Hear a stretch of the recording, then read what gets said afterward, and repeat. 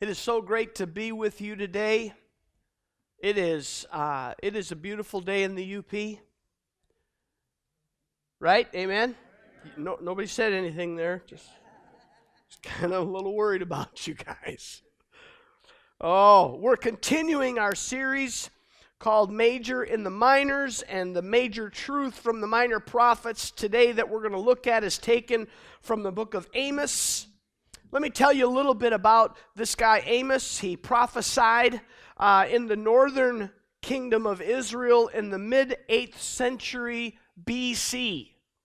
His ministry took place around the same time as Isaiah's did, but Isaiah was, he was the, the prophet. Amos is what we call one of the minor prophets, and he did not hold the official office of prophet uh, but yet we see God using him in this way. And his ministry took place two years before a massive earthquake, which we read about in Amos chapter 1, verse 1. It literally starts out and it talks about this earthquake. And so he is interpreting what God and, would interpret um, that, that this earthquake two years later would be part of God's judgment on Israel. And so he's he's talking in this time frame. Uh, interesting, the the land around the the the the, the nation of Israel. Um, I, I didn't realize this, but there are many fault lines that go through that area of the world, and the biggest of them, the most significant of them, is called the, the Dead Sea transform. And I didn't know this, but literally that fault line is the, the, the fault line that is responsible for the most catastrophic earthquakes that happen in that part of the world. And so there's, there's something that, that we can understand from this scientifically that the seabed of the Dead Sea literally acts like a, a, a tape recorder recording all of the, the seismic activity, all the, the geological activity that happens in that, in that part of the world. Uh, and it does so literally because deposits fall to the, the floor of the seabed, and if nothing disrupts them, they will literally give an uninterrupted history. But when an earthquake comes, there is a disturbance in those deposits and scientists are able to, to detect earthquakes. And so, through carbon 14 dating, scientists are able to place historically two major earthquakes that would have happened during Amos's ministry, eight centuries before Christ. Some scholars actually believe that the earlier quake of the two was a magnitude of 8.0 on the Richter scale. That is a huge earthquake. So at the time of Amos's writing, the northern kingdom, two years before the earthquake, was at the height of its territorial expansion. It was at the height of its political peace. It was at the height of its national prosperity, but inwardly it was rotten. So there's a, a, huge difference between the inward and the outward in the nation of Israel. There was hypocrisy. There was idolatrous religion that was taking place. There was immorality. There was a corrupt judicial system. And there was incredible oppression of the poor. I say all of that just to bring us to Amos chapter 7, reading verses 7 and 8. You follow along as I read. This is what the Lord, this is what he showed me. The Lord was standing by a wall that had been built true to plumb, with a plumb line in his hand. And the Lord asked me, What do you see, Amos? A plumb line, I replied. Then the Lord said, See, uh, look, I am setting a plumb line among my people Israel. I will spare them no longer. This scene is a it's, it's a mental picture or a vision that God is revealing to Amos concerning his people. God wants Amos to speak to the king about what he's been shown in order that the nation would know that judgment is coming upon them with the ultimate goal of repentance. We see this over and over. We've talked about uh, Jonah and the, the great fish and the city of Nineveh. What happened? God sent Jonah to Nineveh to speak and to tell them that the judgment of God was coming. And what happened? The people of Nineveh repented of their sin, and God relented of his judgment. We see that the purpose of God sending his judgment in the Old Testament was to bring about repentance. So, for us today, what can we learn from Amos chapter 7? What can we learn from this minor prophet? I think there are three things that, that we can learn that I want to share with you today. The first one is this God is exceeding patient, exceedingly patient. Most of the first six chapters of the book of Amos are a list of the sins of Amos' people. And it's, there's a lot of stuff in there. And they're, they're not a good people. And that region is not a, a good region. And I think God finally has had enough. And he just cries out, That's it! Now, how many of you parents have ever got to that point?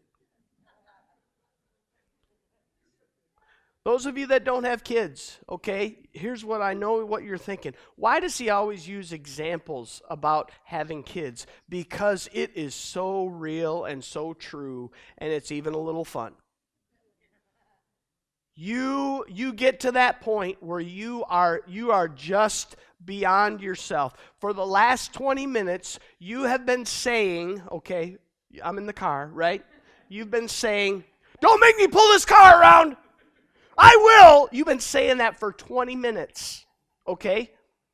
And then finally, you got it just it it hits okay? And you you slam on the brakes and pull over to the side of the road and you're just wagging your finger in their face and and and you you you finally done it. You've actually pulled over and they're terrified because you pull over but we get to that place where, where we're just, we've had enough. We're just done. We have had enough. That is the place where God is at this time. He has had enough, and He is declaring through Amos, you know what? I have had enough. God's done this several times in history. We read about Noah and the great boat that that he, God had him build. Why? Because every thought of man was evil all the time. God said, I have had enough. I'll tell you what, I praise God for the rainbow because God says, I'll never do that again. But regionally, God is saying, I've had enough. These are my people. This, was the equivalent. Well, we, we would most compare it to the church of the New Testament. These were God's people in the Old Testament. He said, I've had enough. You guys are you you have just you've driven me over the edge. And he's preparing two events of judgment on his people. The first one was locusts. The locusts were going to come and they were going to eat everything this was not uncommon in the Old Testament. We read uh, in, in the book of Exodus, we read about uh, the, the, the plague of locusts in the land, that they literally came through in Egypt and they ate everything. And after this plague of locusts would come through here that God was, was talking about, that He was going to send, then there would be fire that would come. And you see, God was going to send this at just the right time. You see, because in, in, in this area of the world and at this time, the first crop of the year would go to the king as his payment, as his tribute. And then after that first crop would be taken in, then that second crop that would just be starting to sprout, that's when the locust would come. And so there would literally be nothing left for Israel and Amos begs God. And he says, God, Israel is too small. She's not big enough. She cannot survive. God, please don't do this. After the locust would come the fire. If the locusts haven't eaten it, if anything's still going to grow at that point, that fire's going to come through and going to sweep through, not only destroy anything that might grow, it's going to destroy a- anything that possibly could come back to life. Now, jack pine we know could grow after a fire, right? But not a lot of other stuff can.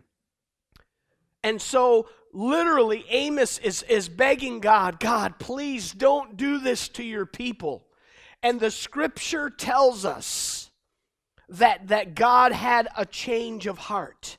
He, God, or Amos pleaded on their behalf. We see this in Genesis chapter 18, where God says to Abraham, Abraham, you know, the cry, the outcry of the sin of Sodom and Gomorrah has reached me. And it's so bad, I actually have to go down and see what it's like for myself. Now, I don't understand this because I would imagine that God could just know it, okay? But he decides to literally go down himself. And it says that there were three men that had visited Abraham and they were going to Sodom and Gomorrah. And God had decided to bring judgment on their wickedness. Now, Abraham knew that his son Lot was there in Sodom and Gomorrah, or his nephew Lot was there in Sodom and Gomorrah. And so we read in Genesis chapter 18 that Abraham begins bargaining with God. And he says to God, Will you sweep away the righteous along with the wicked? Would you spare those cities if, if you could find 50 who are righteous? And God says, You know, Abraham, you bring up a good point. I don't want to sweep away the righteous with the, with, uh, the wicked. So if I can find 50 who are righteous in those two cities, I will not bring judgment upon them. And we know what judgment eventually was, right? We know that it literally, that fire came down and literally consumed them. So he said, I, I won't bring judgment against them. Abraham then, he said, uh, Well, Lord, you know, 50 is five. You know, it's not a big difference, but what, 45? 45? If, if you can find 45 that are righteous, why would you sweep away the righteous with the wicked? And, and God says, you know, Abraham, you, eh, you bring up a good point. Five's not that, that really that big of a difference. So, okay, 45. Now, I do not understand what would have possessed Abraham, but Abraham said, Lord, what about 40? Really, Lord, if, if, if, if 40, would you really, would you really bring judgment upon them and sweep the righteous away with the wicked? How about 40, Lord? Do I hear 40? And, and, and, and God, so this is the first auctioneer that's ever existed and it's in reverse and and god says i and, and i think god had to be laughing you know come on it, god cannot be swindled all right and he, say, he says, All right, Abraham, I, I'll, I'll do it. You know, I, if, if we find only 40, and then now Abraham's really getting bold because he's been, he's been just going down by increments of five. Now he says, Okay, God, what? 30. Okay, he, he ups it to 10. God, 30. If, if you can just find 30 who are righteous, why would you sweep away the righteous with the, the wicked? And God says, All right, 30 it is. God, what what just bear with me, Lord, but but what what about 20? If we can find 20. And and God some I don't know why God agrees with him and says, "Okay, all right, tw- if I find 20, I will not bring judgment." The angels are about ready to leave and, and head for Sodom and Gomorrah. And Abraham speaks up one more time and he said, I, I know I've asked a lot of you, Lord. I, I know that we've gone around and around here, but, but what about 10? What about 10? If we find 10 that are righteous, would you spare the cities? And God said to Abraham, Yes, I will. I will spare them if I find 10. The scripture is filled with examples of God relenting in his judgment. Moses begged God. He God, do you do you know that God said to Moses, "Listen, these children of Israel are so corrupt. I'm going to destroy all of them and I'm going to start over with you." That'd make you feel pretty good about yourself, wouldn't it? I'm going to start over with just you. And Moses begged God, God, don't do this to your people. Think of what the nations would say. And he begged God, and God relented. In Lamentations chapter 3, verses 22 and 23, it says, Because of the Lord's great love, we are not consumed, for his compassions never fail. They are new every morning. Great is your faithfulness. Do you see that? Literally, because of his compassion, we, we are not consumed for our sin right here and right now. Because God could do that, but God has decided to be compassionate, He has decided to be merciful. I'm so glad that that's the kind of God that we serve. He is a God that is exceedingly patient. The Bible makes it clear, however, that one day there will be an accounting for sin. In his second letter to the apostle, or in his second letter, the apostle Peter wrote about the day of the Lord, and he said that there's going to be scoffers who are following their evil desires, and they're going to come, and that's going to prompt judge the judgment of ungodly men. In 2 Peter chapter 3, verses 8 and 9, here's what Peter writes. This is awesome. He said, But do not forget this one thing, dear friends. With the Lord, a day is like a thousand years, and a thousand years are like a day. The Lord is not slow in keeping his promise, as some understand slowness. He's talking about judgment. Are you getting this?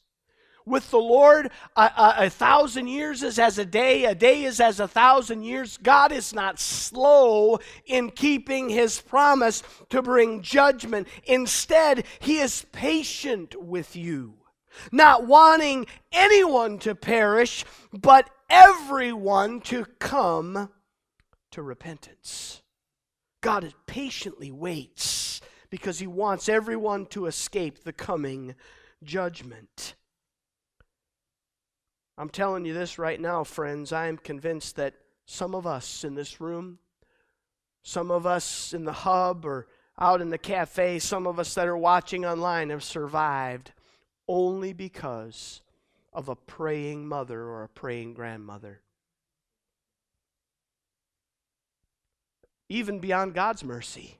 She did what Moses did, she did what Amos did, and she begged God God do something in his life. I remember as a kid, I've told you this story before. My mother fasted and prayed while I was at Bible camp one week as I was when I was a teenager. At the end of that week, she was so excited to see what God had done in my life. I got off the bus in the church parking lot, and the first words out of her mouth were, well, Kev, how was camp? She was waiting with bated breath to hear the great things that God had done in my life. And I said, and I quote, the girls were great.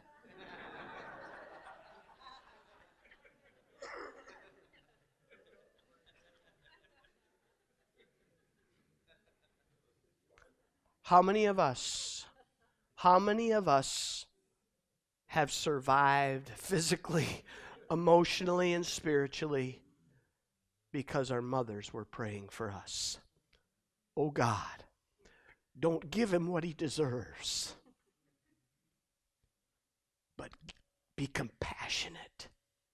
Move in his life. The second thing that we can learn from Amos is that God's word is the standard. Look at our text again, if you would.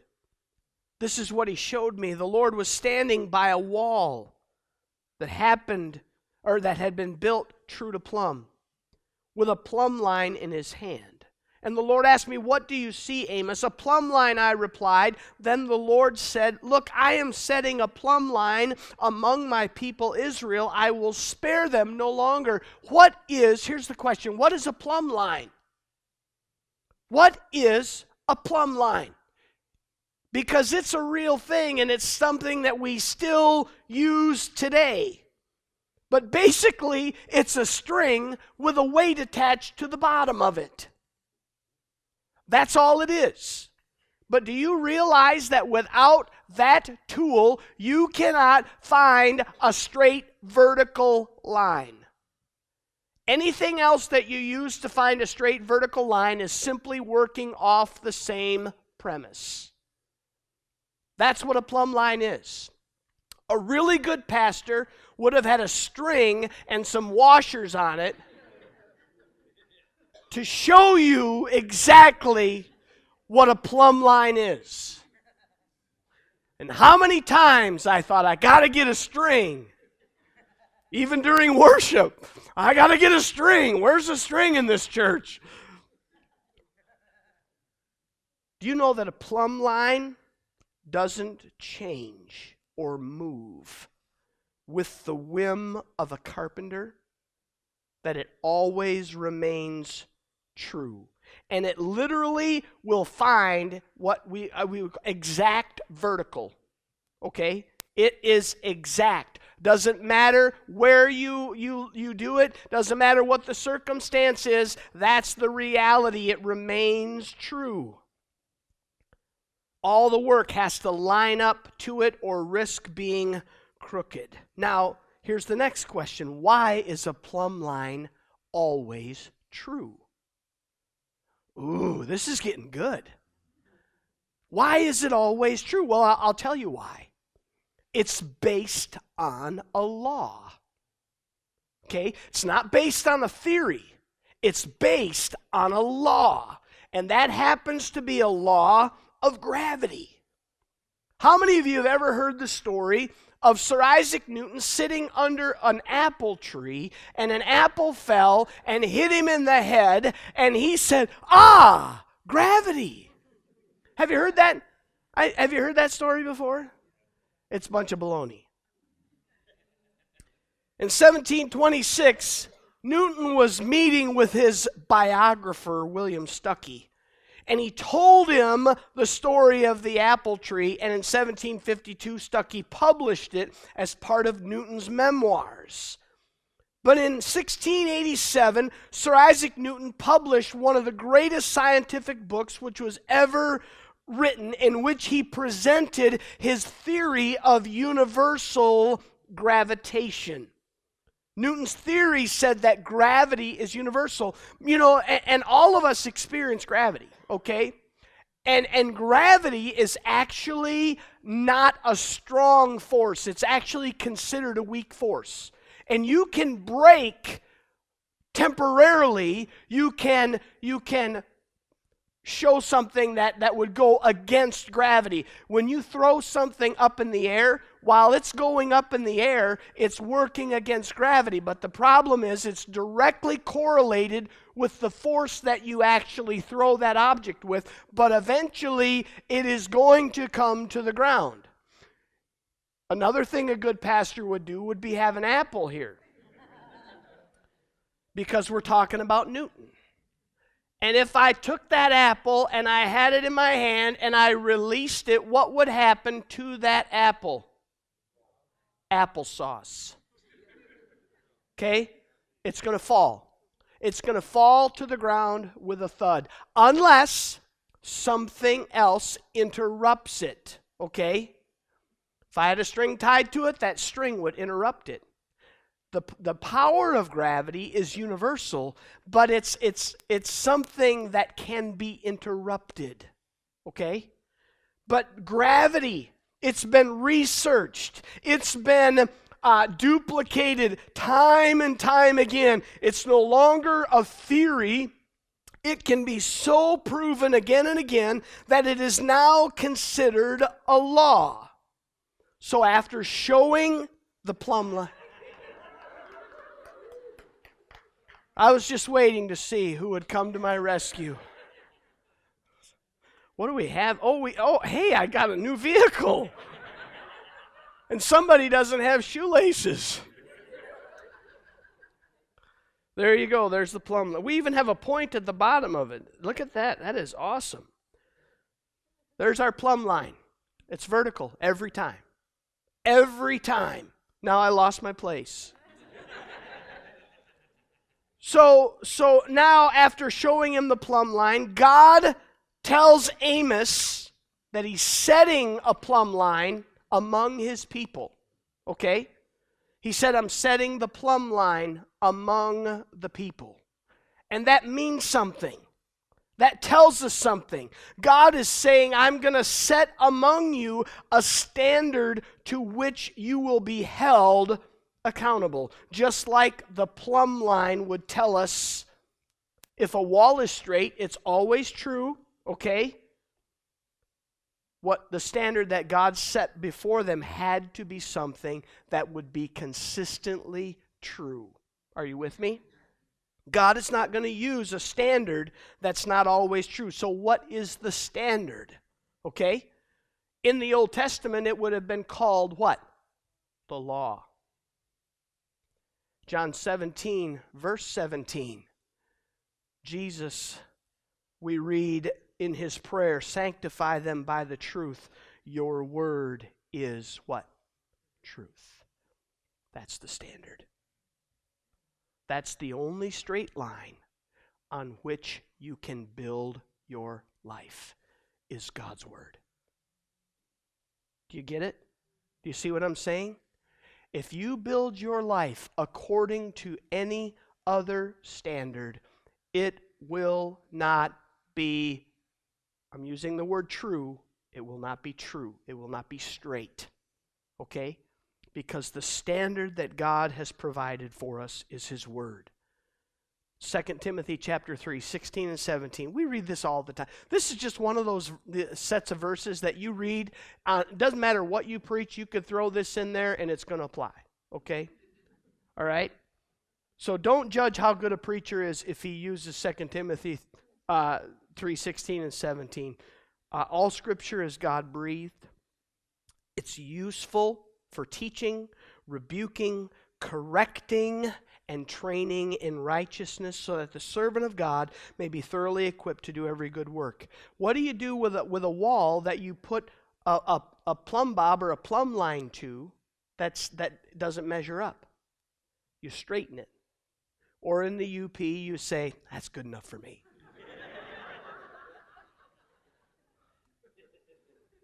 This is the it's the only standard there is, okay? It's the only truth. God's word is always true. It has stood the test of time. It has been tested by millions. Scripture says of itself that not a, a, a, Jesus, not even not a, dot of an I, not the cross of a T will will will uh, will fade away until my word has completely come to pass none of it's going to change. Why? because what's true does not change. It is always accurate. It is always the same.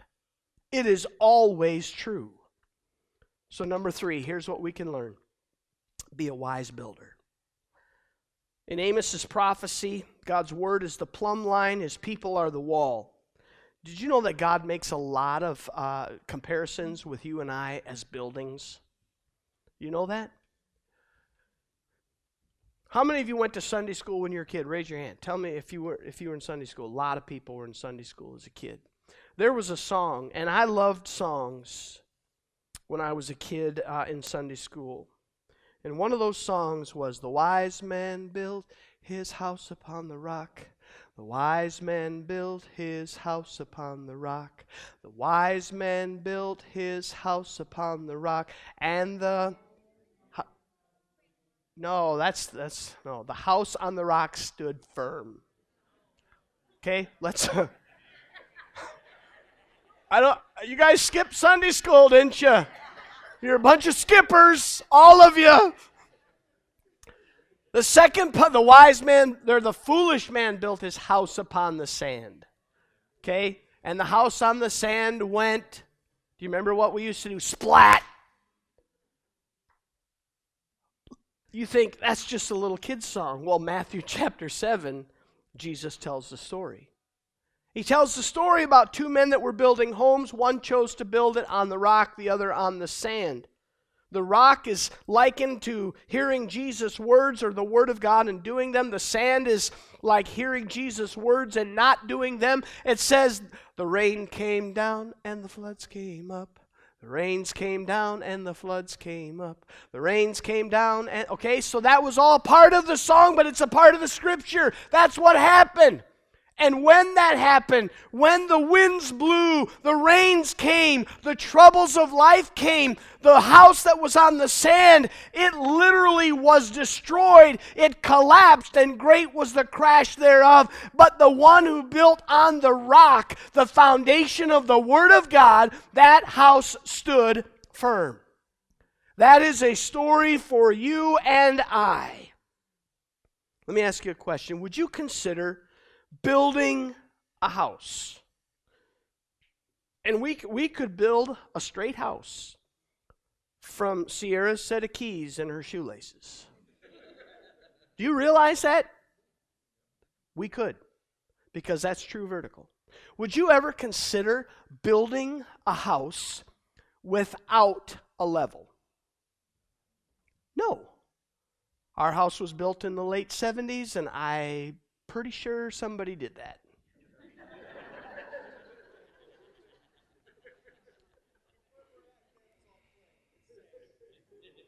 they had levels in the UP in the late 70s. Come on. You wouldn't do it, would you? Why? Because it's too valuable. It's too important. My wife would kill me.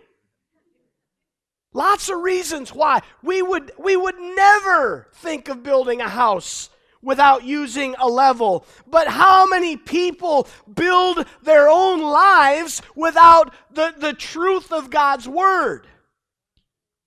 And you think, well, come on, is there really a comparison? Yeah, yeah, God gave you what's called an eternal spirit that will live on after death. And I and what we do with the word of God determines what's going to happen after we leave this world. And so the, the reality is that our eternal spirit is far more important. And yet we, we build it according to whatever we see in society. We need to build it on His Word. We need to be good builders. So let me ask you this what are you building your life on? Wealth, accomplishments, pleasure, experience? The next question is what's going to happen when the wind blows? When the storm beats upon your life, will it stand firm or will it collapse?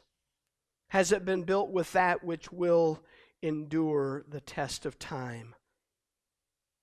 One day we will give an account of our lives. We will stand before God.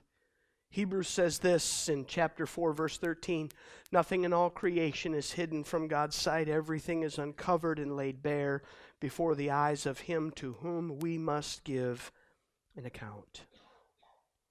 Build your life on the foundational rock of Jesus Christ and the Word of God. And I close with these words, and they've just, the last couple days, haven't been able to get rid of them, and so this morning I included them into my notes from Daniel chapter 5, verse 27. You've been weighed on the scales and found wanting. God is exceedingly patient with us. His word is the standard, and we must be wise builders because one day our lives will be weighed. So, Father, I thank you for your graciousness. I thank you for your patience. I thank you for your compassion. I thank you that your word says that you would that none would perish, but that all would come to repentance and that literally a, a, thousand years is as a day, a day is as a thousand years. You're not slow, you just want people to come to repentance. But the day will come when we will stand before you. And when that day comes, Father, what I want to hear myself is Well done, my good and faithful servant. Enter into the joy of your master's rest. Father, I don't want to hear that my life has been weighed in the scales and been found wanting. Father, I pray for the hearts of those that are within the sound of my voice right now. I pray that the conviction of your Holy Spirit, which may be speaking to them right now, would reverberate through their mind.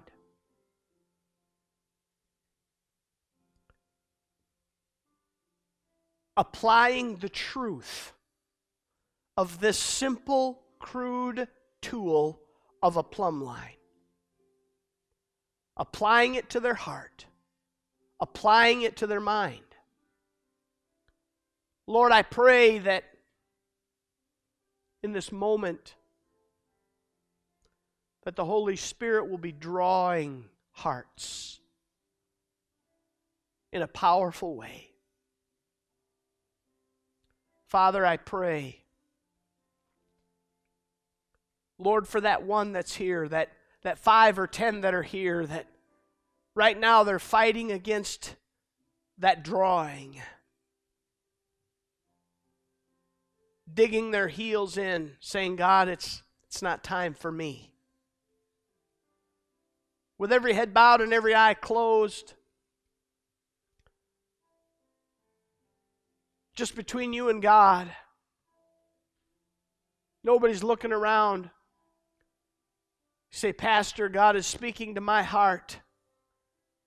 He is drawing me. And I realize that God has been patient with me.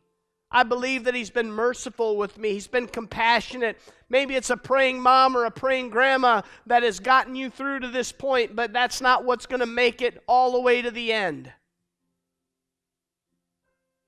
You say, Today, today I want to ask God to bring my life into alignment with His truth. If that's you this morning, I just want you to reach your hand up toward heaven as we get ready to pray. Yes, yes, yes, yes, yes. Hands all over this room. Father, you see these hands. Each of them are crying out because the Holy Spirit is moving in their hearts right now. And Lord, we know that that process is not easy. We know that there's going to have to be some some foundational things restored. We know there's going to have to be some supports that are changed. We know that there's going to have to be an alignment, and, and it's not going to necessarily be easy. But God, we want our lives to be in alignment with your word. I thank you because you're moving in hearts. Thank you for watching the message today. If you've accepted Christ as your personal Savior, or if you have questions about your personal walk with Jesus Christ, we'd love to help answer those questions. We've prepared something specifically for you. It's a five day devotional called Walk by Faith. We'd love to give you this as our gift to you today. Please contact us using the information provided for you on the screen. May God bless you.